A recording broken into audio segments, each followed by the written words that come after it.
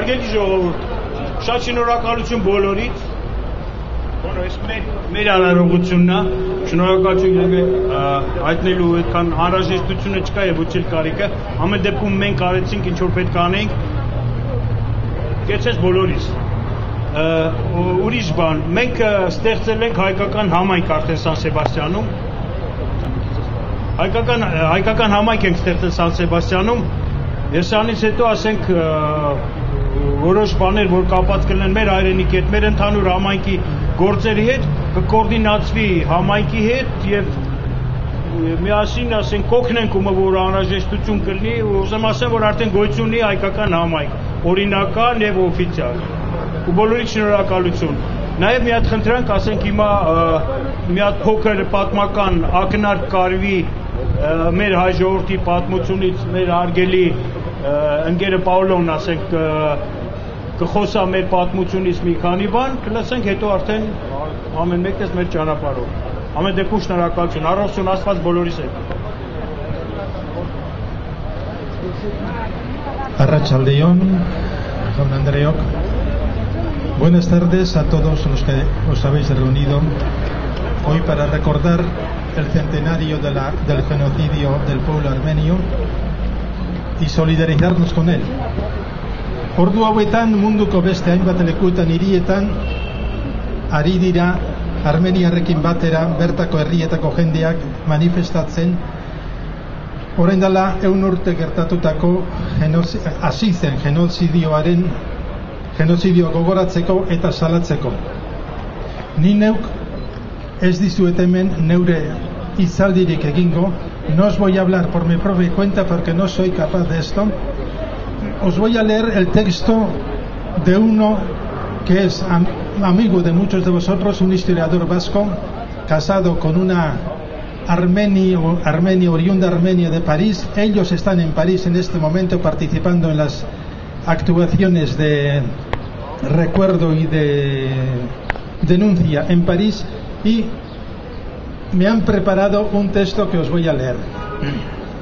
Hoy, 24 de abril de, mil, de 2015, hace a las 20 horas se cumplen 100 años desde que fueron detenidos por la policía otomana unos 270 intelectuales, artistas y dirigentes armenios en la ciudad de Estambul, cifra que se elevó poco después a 2.345. Y el resto, el arresto se llevó a cabo bajo órdenes de Talat Pacha, ministro del Interior del Partido de los Jóvenes Turcos, y dirigido por Bedri Bey, comisario de policía de Estambul. Comenzó así el primer genocidio del siglo XX. A lo largo de los siguientes meses y años inmediatos, 1.500.000 armenios iban a ser ejecutados por arma, muertos en prisión por hambre y enfermedades en campos de concentración otomanos y en las caravanas de la muerte. Todos ellos habían cometido un delito, ser armenios. En un plan general de exterminio, el operativo político-administrativo se llevó a la práctica de forma programada.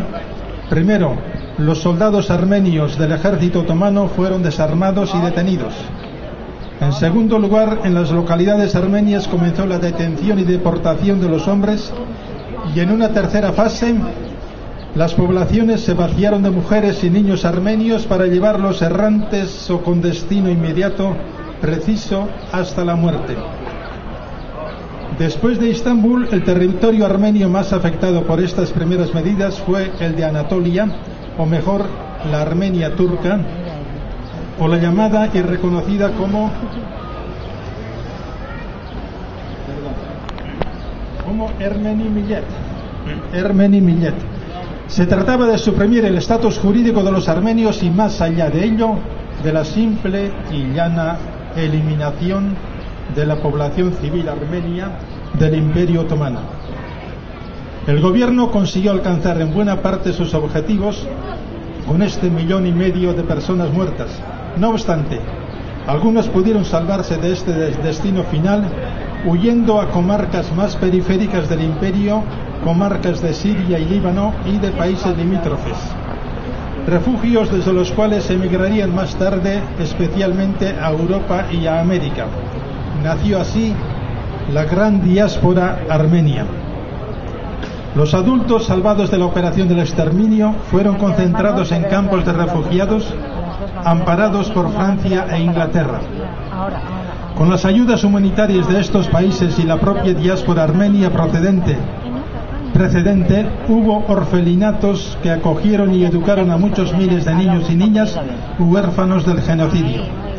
Ellos y sus descendientes son los testigos más próximos del genocidio armenio de hace 100 años. No fueron muchos los que entonces llegaron a Euskal Herria, pero hoy son varios cientos los que viven con nosotros dolorosamente la memoria de este pasado familiar y personal. ¿Por qué sobrevino este genocidio armenio?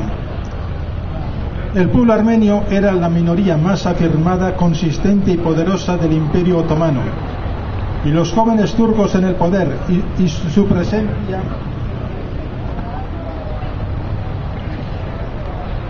su presencia en la administración, los instrumentos mediáticos, los medios culturales, en la amplia red de escuelas y centros culturales tenían una importancia grande. La ideología y el programa político de los jóvenes turcos, con su partido Comité de Unión y Progreso, decidieron que frente al plurinacionalismo jurídico constitucional del Imperio Otomano, ya en evidente declive debía implantarse un Estado más exclusivamente turco o panturco y que la eliminación del pueblo armenio era un paso fundamental para ello. Así nació el plan del genocidio. Termino, ¿eh?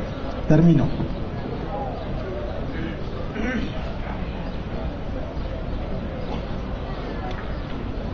La catástrofe de este genocidio puede ser elevada, evaluada desde la historia del pueblo armenio, historia que arranca al menos desde hace 3.000 años. Pueblo armenio hoy constituido por la gran diáspora, por una parte, y la actual República de Armenia como Estado independiente situada en el Cáucaso, que tiene 29.800 metros cuadrados, 3 millones de habitantes. El pueblo armenio tiene lengua e iglesia nacionales propias, una rica y sorprendente cultura escrita en contacto con Grecia, Roma y Bizancio. Tras el genocidio, el pueblo armenio quedó agónico, como diría Unamuno, agónico en trance de muerte y agónico por mantenerse siempre batallador en la resistencia. Hoy, el pueblo vasco con hondo se solidariza con este pueblo martirizado y reivindica su reconocimiento histórico. Donostiako eta Euskal Herriko Armenia roi, eskerrik asko hoiekin elkartzeko gaur hemen bildu zareton, eus, zaret, zareten Euskaldunoi eta guztioi arratsaldeon, buenas tardes y enhorabuena.